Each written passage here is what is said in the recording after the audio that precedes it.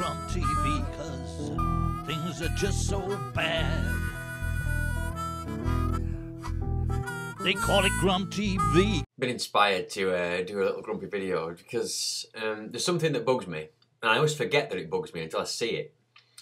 And a couple of days ago, well, Monday, Tuesday this week, spent um, a couple of days in an airport, and it reminded me there's people that fall into a category at airports and train stations, and um, there's three three main ones that stick in my mind, three characters, and uh, I saw all three. I saw all three types uh, at the airport. Excuse me. I'll show you what I mean, and I bet you agree with me.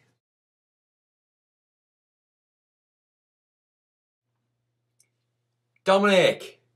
Dominic, you tosser!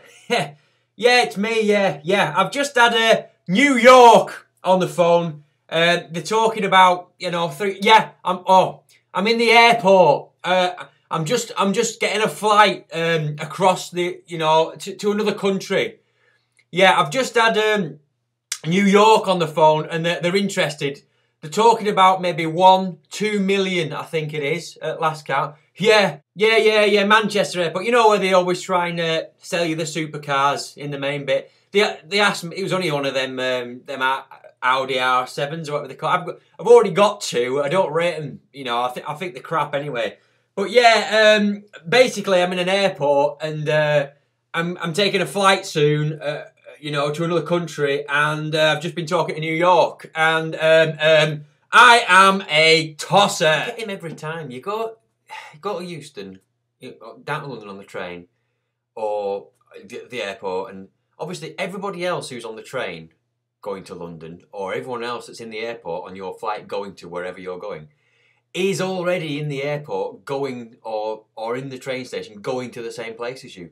You don't have to impress them not that it's impressive anyway, but it's just that sort of like, yeah, yeah, I'm, I'm just going to London or I'm, I'm just going to America. And it's just like, shut the I've never said that. Someone rings me up, I'll be like, yeah, I'm at work.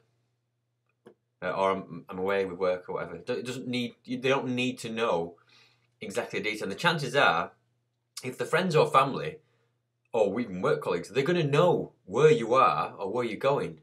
So I don't see why people have got to shout where they're going and, and that they're cool because they're doing it.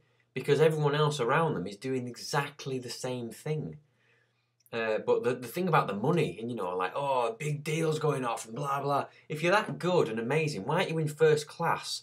You know, why are you on a cheap Nokia in a crap suit, barking down the phone, trying to impress everybody around you? And, you, and you're not, all you're doing is, is you're just making yourself like more of a dick than you already are and you already are a massive dick with a small dick.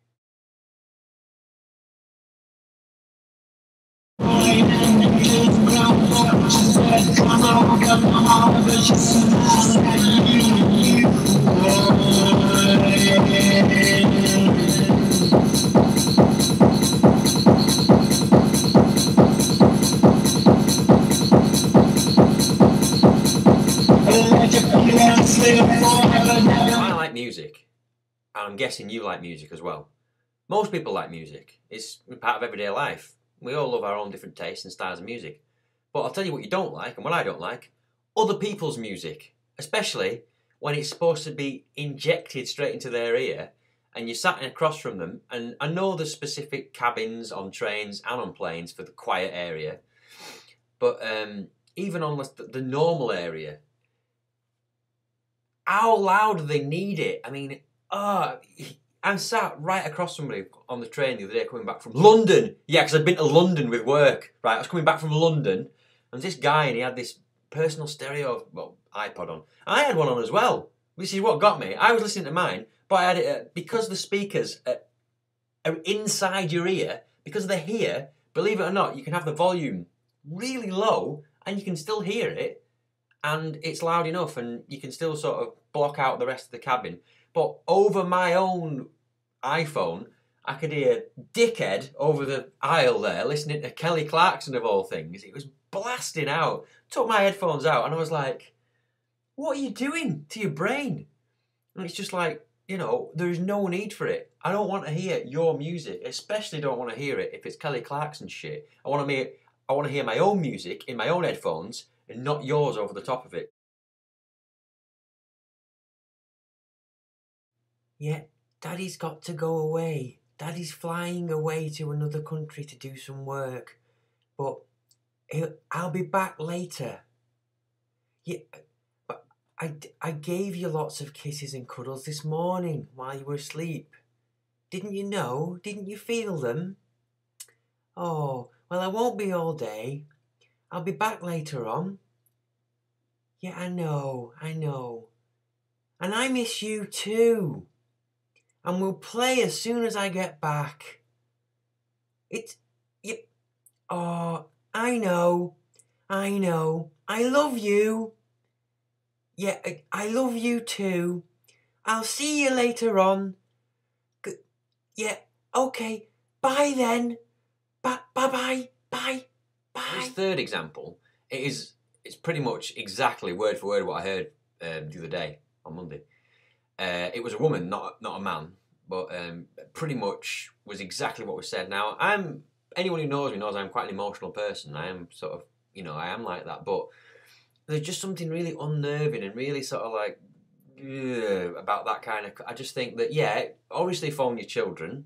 Um, they are going to miss you. You are miss. I don't have any children, so I mean, but just just move somewhere else and do that because it's just it's really it's like another one of those show that it's like I've got kids and I'm, I know that if you have got them you are proud of them and you have every right to be proud of them.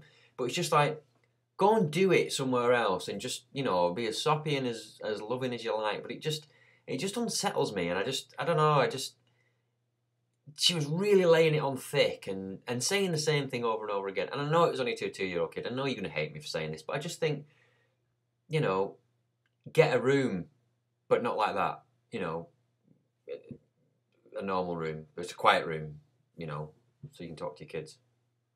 So if you use public transport, you know, what sort of characters annoy you? I mean, I don't, I, I don't do it much, so I mean, I suppose there's the chavs uh, and people like that, but I don't really see them, you know. Um, but I know, say for example, Strid, you use a lot of buses and trains and stuff, so there must be there must be something that really bugs you. So let me know.